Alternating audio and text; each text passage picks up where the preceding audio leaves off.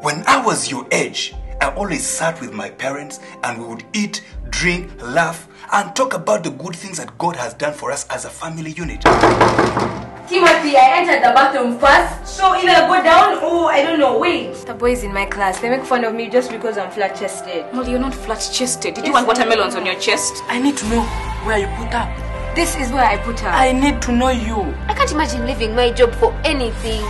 My career comes first. Why is it that the men get to do all the speaking up they want? Honey, you are hanging with the wrong men. Eh, show me your ring.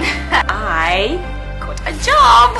Are you serious? I did, I did. I got a that's job. so cool. Thanks, congratulations. That's not how I, I raised you. Now your, your wife is going to work, staying at home. What is this? Now, who is the man? I got into a fight with Richard's wife. What? So you are seeing a married man? What time is this? It's like 9.30. Who was that? Oh, Q dropped me off. Q. Who's Q? Q's my boss. Your boss? Yeah. What kind of name is Q? Oh, it's his nickname. Oh, you even have a nickname for him. I'm like Q's right-hand person. And you are my wife.